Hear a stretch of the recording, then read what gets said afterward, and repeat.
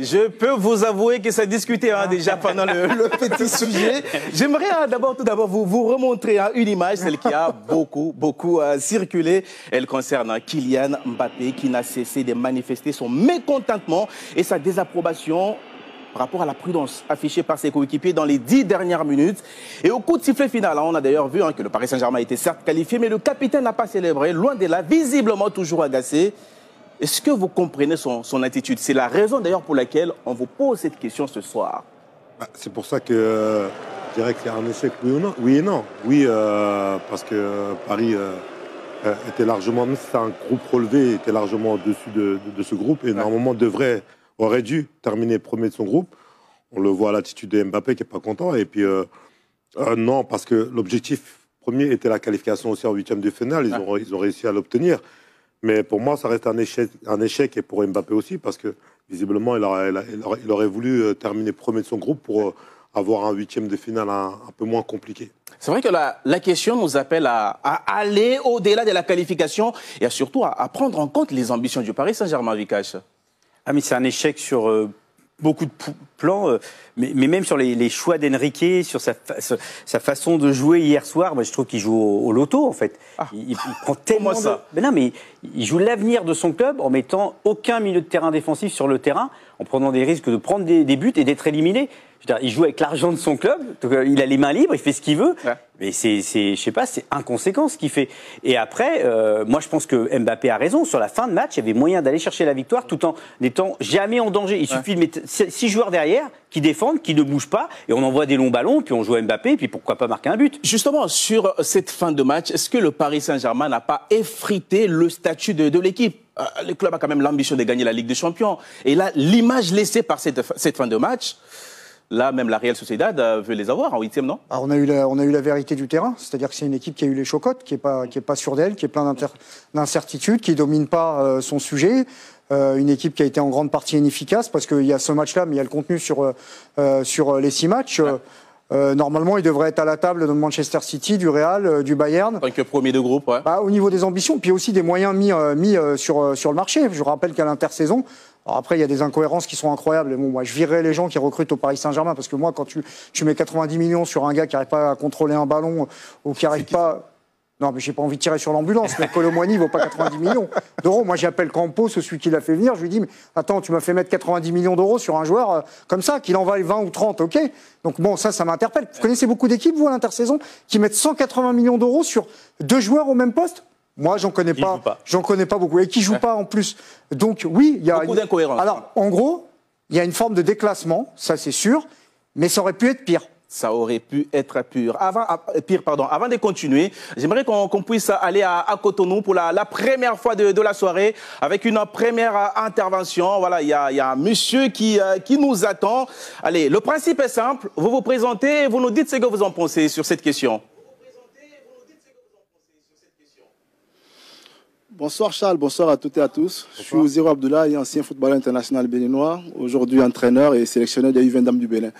Je pense que le match d'hier euh, va juste accroître les doutes qu'il y a autour de cette équipe par rapport à sa capacité à remporter ce trophée.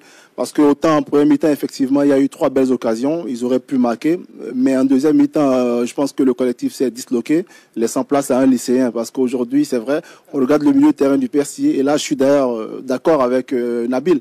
On achète beaucoup de joueurs en milieu de terrain, surtout parce que depuis quelques années, on, se demande s'il ne faut pas prendre un vrai 6 et un 8. Aujourd'hui, le PSG achète Ougarté, ils prennent des joueurs, ils ont Carlos Soler, mais en réalité, c'est Warren Zaï Emery qui porte cette équipe. Dans la partie de ce moment, c'est qu'il y a un souci et qu'il faut effectivement voir au niveau des recrutements parce que le projet, on, pense qu'il regresse parce que il y a 12, 13 ans, c'est ce qu'on voyait au PSG. Il y a eu quand même de bonnes arrivées. On a connu Marco Verratti. Quand vous avez connu Marco Verratti dans un milieu de terrain du Paris Saint-Germain aujourd'hui et que vous regardez ceux qui sont là, on se demande si vraiment le PSG euh, va pour remporter la Ligue des Champions.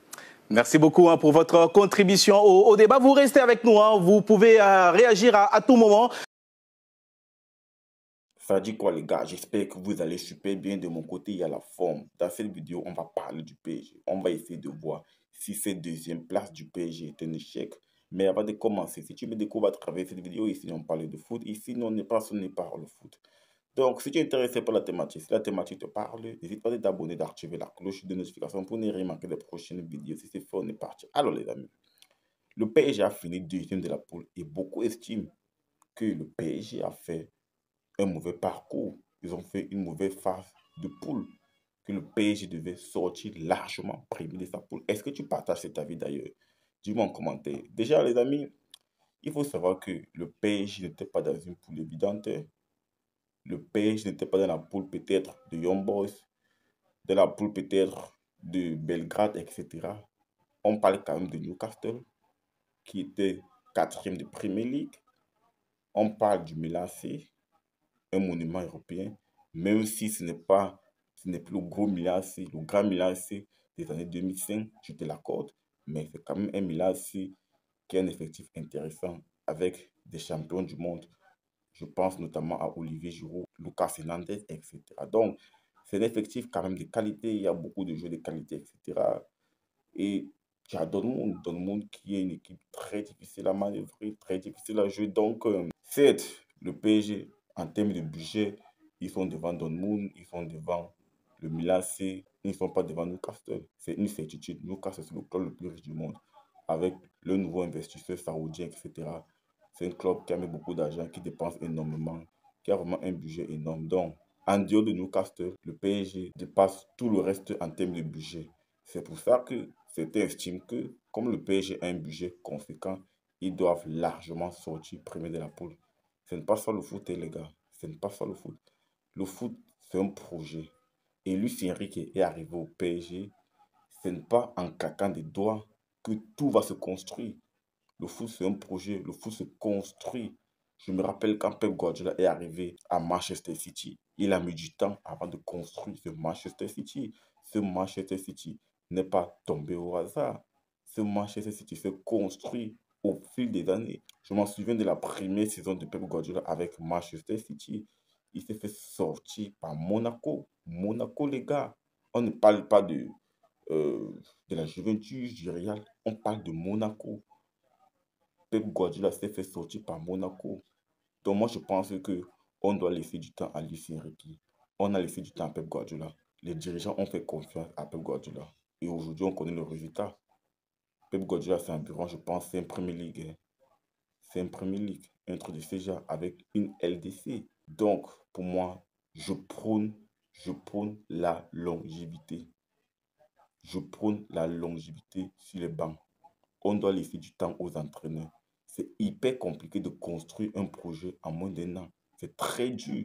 C'est très dur de mettre ces idées en place en moins d'un an. C'est hyper compliqué, les gars. Je ne sais pas si vous vous en rendez compte, mais c'est hyper dur.